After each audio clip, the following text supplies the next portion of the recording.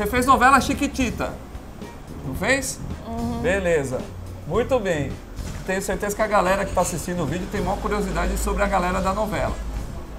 A pergunta do Falo Tom é a seguinte: qual das meninas da Chiquitita era a mais legal e a mais chata? Por quê? Você fala ou toma? Eu falo, Vai falar o nome? falo. Tem que falar o nome da mais legal e da mais chata. Eu vou falar, tipo, a mais legal e a mais chata. Vou falar a que eu mais me dava a que eu menos me dava. Tudo pode bem, ué. falando aí tá bom, não tem problema. Eu me ferrei, a tortada vai vir em mim mesmo. Vai lá.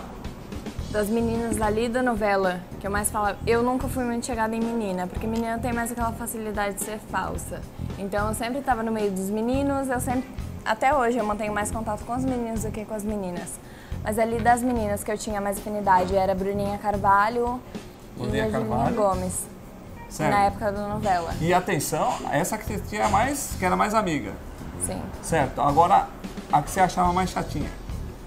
Eu achava chata, assim, porque cada um tem sua personalidade, cada um tem seu ponto de vista sobre a personalidade de uma pessoa. Mas a pessoa que eu menos me dava ali era a Giovana Grigio.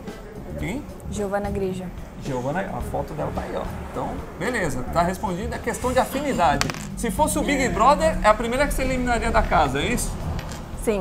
Então tá bom, tá respondido por sua conta em risco e eu vou me ferrar. Palmas que ela respondeu mais uma, que beleza. Esse é mais um corte do Falo Toma. Quero lembrar que você também pode ver essa entrevista completinha. É só você clicar aqui nesse card ou clicar na descrição do vídeo. Valeu!